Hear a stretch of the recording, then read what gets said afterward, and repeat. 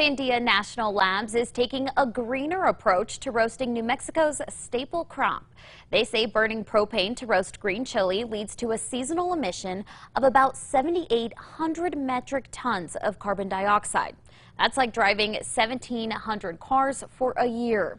Instead, engineers are using concentrated sunlight, which they say produces flavorable chili and reduces carbon dioxide emissions. They're hopeful using solar power to roast green chili will inspire new applications of solar technology.